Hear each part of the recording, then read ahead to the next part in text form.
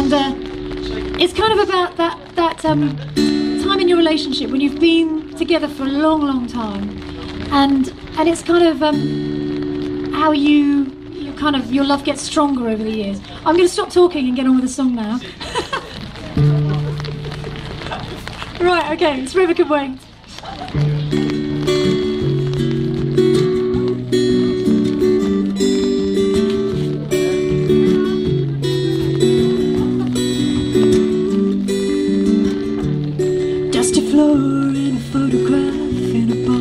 shelf where the ladies are. Just a picture, a memory of a springtime in the rain years ago.